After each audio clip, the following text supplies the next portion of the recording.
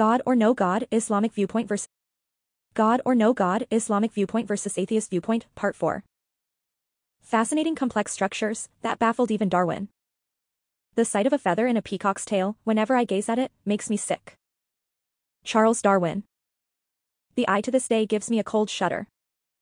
Charles Darwin. Issues atheists are unable to answer. 1. How nothing created everything, and how life emerged from non-living matter. 2. How can blind forces create vision? Or a deaf forces create hearing? Or a reckless of forces create creativity and wisdom? Or inanimate of forces create sense and feelings? 3. What is the origin of the laws of physics, and why everything in the universe obeys these laws? 4. How can random, mindless processes produce codes, information, and language? 5. How can disinterested and unselfish actions such altruism, empathy, and compassion fit the evolutionary motto of survival of the fittest? 6. How can a chance universe exhibit design and order, and why is the universe so finely tuned for life? The staggering complexity of a living cell. At the time of Darwin and his contemporaries, the cell appeared to be no more than a black spot under the simple light microscope, which was the first microscope to be used in the study of the cell. It consisted of a single, small, convex lens with 25 times magnification power. Thus hampered by inadequate instruments for observing life under the microscope, Darwin concluded, upon viewing a cell, that it was a simple jelly-like substance, just a blob of protoplasm. He never imagined the incredible complexity and intricate information contained in a living cell. Genetic information became accessible and explorable only by means of the modern electron microscope, which can magnify an object up to 2 million times its original size. Subsequent discoveries revealed that the cell was not a fluid-filled balloon, as Darwin had imagined, but an irreducibly complex structure consisting of tiny, high-tech biological machines. To grasp in detail, said the German biologist von Bertalanffy, the physiochemical organization of the simplest cell is far beyond our capacity. Microsoft founder Bill Gates recognized the limitations of computer language in contrast to the cell's ability to store and utilize living data, saying, Human DNA is like a computer program but far, far more advanced than any we've ever created. Expressing his amazement at the complexity of the cell, molecular biologist Michael Denton said, Molecular biology has shown that even the simplest of all living systems on the Earth today, bacterial cells, are exceedingly complex objects. Although the tiniest bacterial cells are incredibly small, weighing less than 10 to 12 grams. Each is in effect a veritable micro-miniaturized factory, containing thousands of exquisitely designed pieces of intricate molecular machinery, made up altogether of 100,000 million atoms. Far more complicated than any machine built by man and absolutely without parallel in the non-living world. A single system which is composed of several well-matched, interacting parts that contribute to the basic function. And where the removal of any one of the parts causes the system to effectively cease functioning. Kinesin, the cell's postal system, our Lord is he who gave to everything its proper form and guided it to its proper function. Quran 2050. Pharaoh said, in denial of what they brought, Who then is your Lord, whom you claim has sent you to me, O Moses? Moses said, Our Lord is the one who gave everything the shape and form suitable for it, and then he guided all created things to what they were created for. Surah Ta. 49-50. The Noble Quran makes a distinction between the creation of a thing and its sense of direction. This sense of direction is a mysterious dimension present in everything, directing it toward its proper God-assigned role.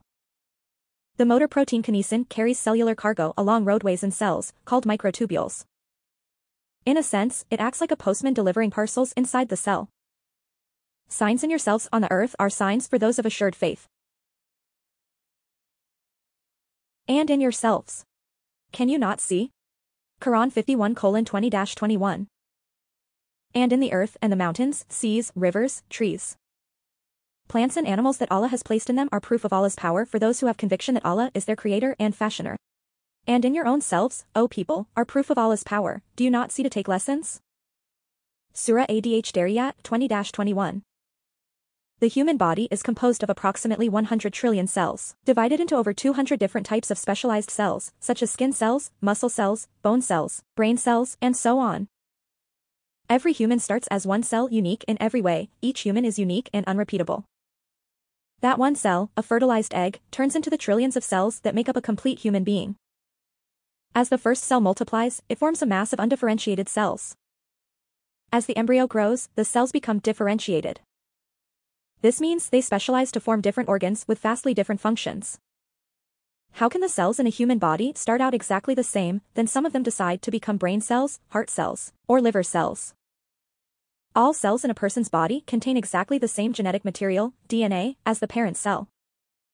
How can a number of newly divided cells, each containing identical DNA, differentiate into different types of cells and therefore into different organs? Each cell has the same number of genes, 24,000.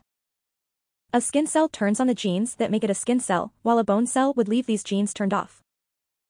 How do cells switch their genes on and off? And, more importantly, how do they know which genes to switch on and which genes to switch off? How do cells decide which proteins to make, how much, when, and where? This amazing flow of facts about the cell leads us to inevitably ask the questions. Who designed the cell? Who taught it exactly what to do? Mindless, blundering atoms have conspired to make not just life, not just mind, but understanding. This, a universe, can be no trivial detail, no minor byproduct of mindless, purposeless forces. We are truly meant to be here, physicist Paul Davies, the mind of God. The role of science. Basically, science is about exploring and understanding the natural world through observation and experimentation. Diverse and infinite realities exist, both within and outside the reach of normal senses, and it is through science that humans can learn about them to enhance their well-being. Science is not a fixed set of facts. It is an ever-changing flux, always open to new theories, explanations, and discoveries, which from time to time get changed, corrected, or disproven with up-to-date and more reliable theories replacing the old. The truth in science is never final. Just because science can explain many various unknown issues does not mean that it can explain everything. There are matters of morality, meaning, and purpose that lie outside the scope of science. Right and wrong do not come from physics, chemistry, or biology. Science does not instruct us how to treat one's neighbor as oneself, how to clothe the naked and feed the hungry, or why it is wrong to murder, steal, bear false witness, or hurt others. Science is totally silent about all these topics. I am very astonished that the scientific picture of the real world around me is very deficient. It gives us a lot of factual information, puts all our experience in a magnificently consistent order, but it is ghastly silent about all and sundry that is really near to our heart. That really matters to us. It cannot tell us a word about red and blue, bitter and sweet, physical pain and physical delight. IT knows nothing of beautiful and ugly, good or bad, God and eternity. Nobel laureate, quantum physicist Erwin Schrödinger, Collaboration rather than conflict. 1. In Islam, conflict between science and religion is inconceivable. Religion comes from God and so does the universe, with all its laws and phenomena.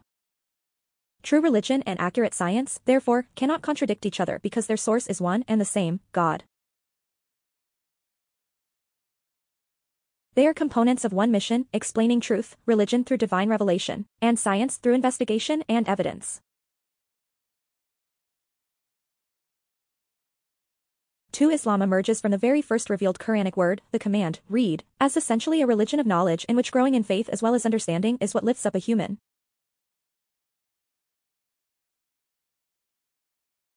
The Quran specifically states, God will exalt in degree those of you who believe and those who have been given knowledge.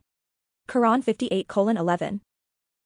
After Allah mentioned the etiquette of speech, he mentions the etiquette of gatherings, and says, Oh those who have faith in Allah and act upon what Allah has legislated for them, when you are told, make space in gatherings, then make space, Allah will create ease for you in your worldly lives and in the afterlife. And when you are told, leave from so and so gatherings so that people of virtue may take part in them, leave those gatherings. Allah, may he be glorified, will raise in great stature those who have faith among you and those blessed with knowledge. And Allah is the knower of whatever you do, none of your actions are hidden from him, and he will requite you for them. Surah Al-Mujadila E11 3. In the whole Quran, the only supplication for increases, say, My Lord. Increase me in knowledge. 20 114. Allah is high above and exalted from what the idolaters describe him with of deficiencies and from what they attribute as partners to him. He is the majestic king, to whom belongs the kingdom of everything, and who is the truth and speaks the truth. Do not hasten, O Messenger, in reciting the Quran with Gabriel before it is completely conveyed to you, and say, O Lord, increase me in knowledge, on top of what you have already taught me. Surah Ta. 114. Throughout book, humankind is urged over and over to observe and reflect on creation. Thus, knowledge according to the purpose and essence of Islam is not only a matter of encouragement, but obligation. Prophet Muhammad, peace be upon him, said, seeking knowledge is a duty for every Muslim, man or woman. Sunan ibn Majah. For a science and religion belong to two different but equally important realms of knowledge. They complement each other and do not conflict because there is no overlap between the areas occupied by each. Since human beings are made up of both body and soul,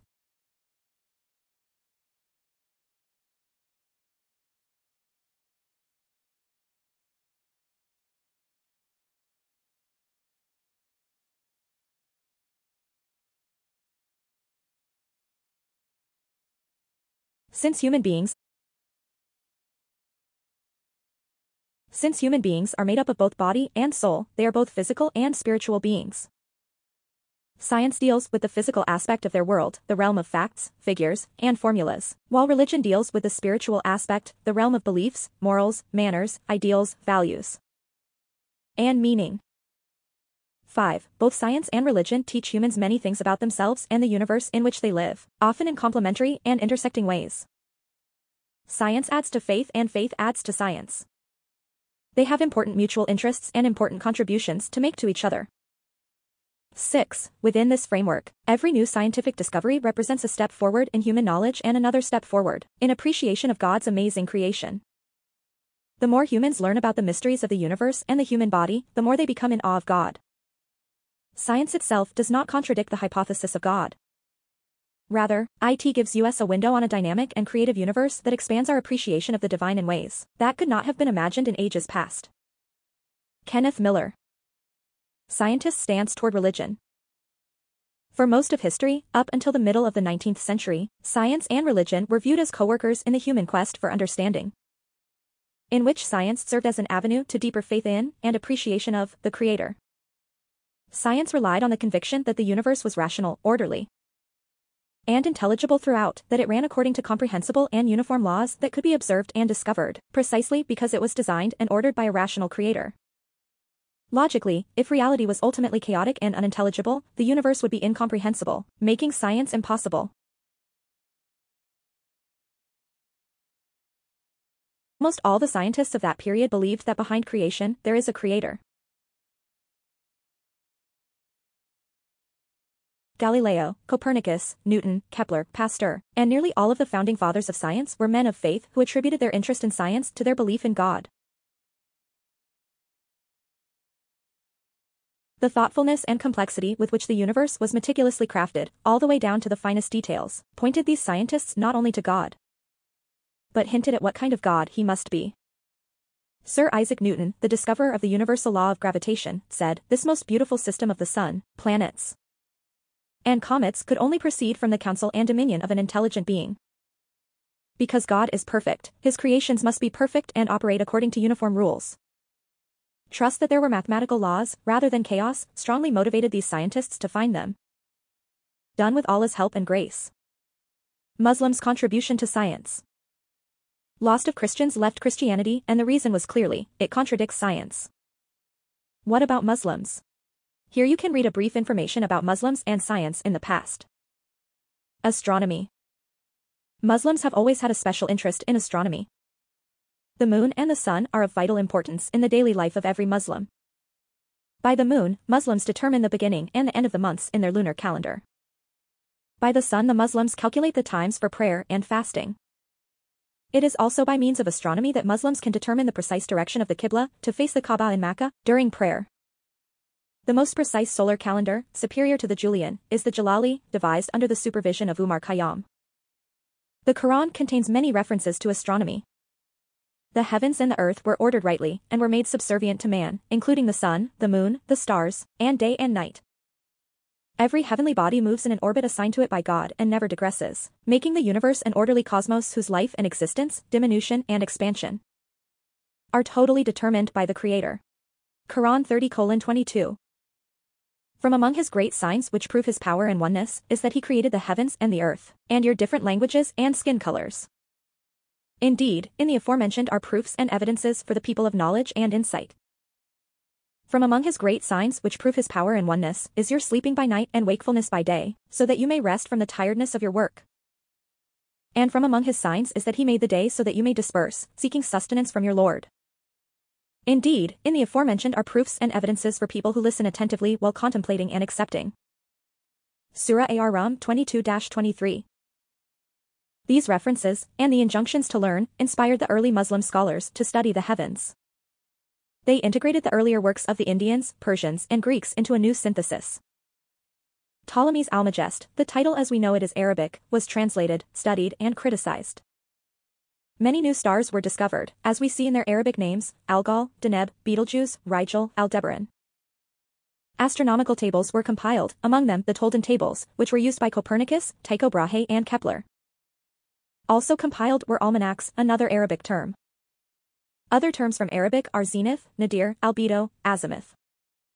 Muslim astronomers were the first to establish observatories, like the one built at Maragha by Hulagu, the son of Genghis Khan, in Persia. And they invented instruments such as the quadrant and astrolabe, which led to advances not only in astronomy but in oceanic navigation, contributing to the European age of exploration. Geography Muslim scholars paid great attention to geography. In fact, the Muslims' great concern for geography originated with their religion. The Quran encourages people to travel throughout the earth to see God's signs and patterns everywhere. Islam also requires each Muslim to have at least enough knowledge of geography to know the direction of the Qibla, the position of the Kaaba in Mecca, in order to pray five times a day.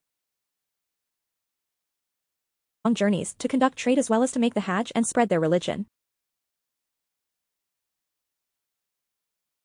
The far-flung Islamic Empire enabled scholar explorers to compile large amounts of geographical and climatic information, from the Atlantic to the Pacific. Among the most famous names in the field of geography, even in the West, are Ibn Khaldun and Ibn Battuta, renowned for their written accounts of their extensive explorations. In 1166, Al-Idrisi, the well-known Muslim scholar who served the Sicilian court, produced very accurate maps, including a world map with all the continents and their mountains rivers, and famous cities. Al-Maqdisi was the first geographer to produce accurate maps in color. It was, moreover, with the help of Muslim navigators and their inventions that Magellan was able to traverse the Cape of Good Hope, and Da Gama and Columbus had Muslim navigators on board their ships. Humanity Seeking knowledge is obligatory in Islam for every Muslim, man and woman. The main sources of Islam, the Quran and the Sunnah, Prophet Muhammad's traditions, encourage Muslims to seek knowledge and be scholars, since this is the best way for people to know Allah, God. To appreciate his wondrous creations and be thankful for them. Muslims were therefore eager to seek knowledge, both religious and secular, and within a few years of Muhammad's mission, a great civilization sprang up and flourished. The outcome is shown in the spread of Islamic universities, Al-Zaytuna in Tunis, and Al-Azhar in Cairo go back more than 1,000 years and are the oldest existing universities in the world. Indeed, they were the models for the first European universities, such as Bologna, Heidelberg, and the Sorbonne. Even the familiar academic cap and gown originated at Al-Azhar University. Muslims made great advances in many different fields, such as geography, physics, chemistry, mathematics, medicine, pharmacology, architecture, linguistics, and astronomy. Algebra and the Arabic numerals were introduced to the world by Muslim scholars. The astrolabe, the quadrant, and other navigational devices and maps were developed by Muslim scholars and played an important role in world progress, most notably in Europe's age of exploration. Muslim scholars studied the ancient civilizations from Greece and Rome to China and India. The works of Aristotle, Ptolemy, Euclid and others were translated into Arabic. Muslim scholars and scientists then added their own creative ideas, discoveries, and inventions, and finally transmitted this new knowledge to Europe, leading directly to the Renaissance. Many scientific and medical treatises, having been translated into Latin, were standard text and reference books as late as the 17th and 18th centuries. Mathematics It is interesting to note that Islam so strongly urges mankind to study and explore the universe. For example, the Holy Quran states, we, Allah, will show you, mankind, our signs patterns in the horizons universe and in yourselves until you are convinced that the revelation is the truth. Quran 41 53. I will show them my signs in the heavens and on earth. I will show them my signs within souls so that it will become clear to them without any doubt that this Quran is the truth without any doubt. Is it not enough for these idolaters that the Quran is true by Allah's testimony that it is from him? Who can be a greater witness than Allah? If they were seeking the truth they would have sufficed with the testimony of their Lord. Surah Fussilat 53 This invitation to explore and search made Muslims interested in astronomy, mathematics, chemistry, and the other sciences. And they had a very clear and firm understanding of the correspondences among geometry, mathematics, and astronomy. The Muslims invented the symbol for zero, the word cipher comes from Arabic sifr, and they organized the numbers into the decimal system, base 10. Additionally, they invented the symbol to express an unknown quantity, i.e., variables like x. The first great Muslim mathematician, al-Khwarizmi, invented the subject of algebra, al-Jabr, which was further developed by others, most notably Umar Khayyam. Al-Khwarizmi's work, in Latin translation, brought the Arabic numerals along with the mathematics to Europe, through Spain. The word algorithm is derived from his name, Muslim mathematicians excelled also in geometry, as can be seen in their graphic arts, and it was the great al-Biruni, who excelled also in the fields of natural history. Even geology and mineralogy, who established trigonometry as a distinct branch of mathematics. Other Muslim mathematicians made significant progress in number theory. Medicine In Islam, the human body is a source of appreciation, as it is created by Almighty Allah, God how it functions, how to keep it clean and safe, how to prevent diseases from attacking it or cure those diseases, have been important issues for Muslims. Prophet Muhammad himself urged people to take medicines for your diseases, as people at that time were reluctant to do so. He also said, God created no illness, but established for it a cure, except for old age. When the antidote is applied, the patient will recover with the permission of God. This was strong motivation to encourage Muslim scientists to explore, develop, and apply empirical laws. Much attention was given to medicine and public health care. The first hospital was built in Baghdad in 706 AC. The Muslims also used camel caravans as mobile hospitals, which moved from place to place. Since the religion did not forbid it, Muslim scholars used human cadavers to study anatomy and physiology and to help their students understand how the body functions. This empirical study enabled surgery to develop very quickly. Al-Razi, known in the West as Rhazes, the famous physician and scientist, d. 932, was one of the greatest physicians in the world in the Middle Ages. He stressed empirical observation and clinical medicine and was unrivaled as a diagnostician. He also wrote a treatise on hygiene in hospitals.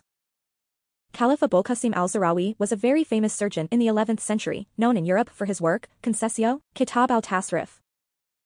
Ibn Sina, d. 1037, better known to the West as Avicenna, was perhaps the greatest physician until the modern era.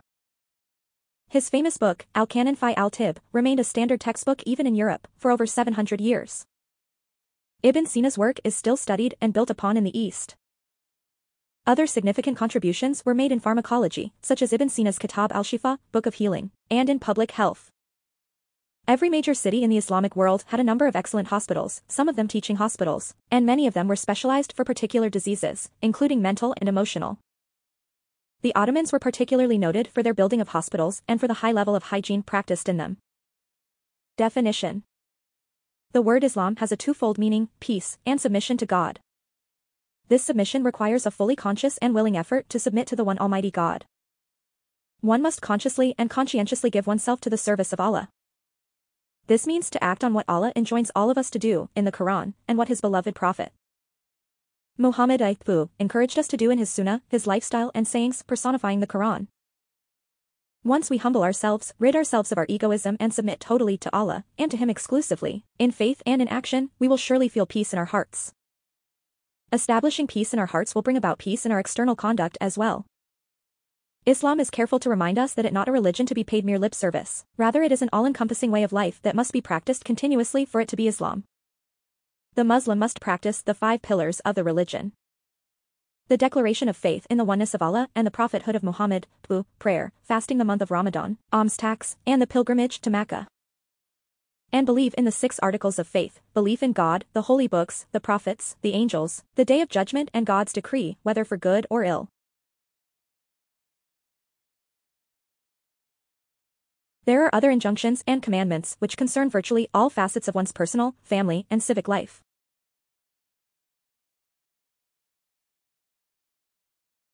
These include such matters as diet, clothing, personal hygiene, interpersonal relations, business ethics, responsibilities towards parents, spouse and children, marriage, divorce and inheritance. Civil and criminal law, fighting in defense of Islam, relations with non-Muslims, and so much more.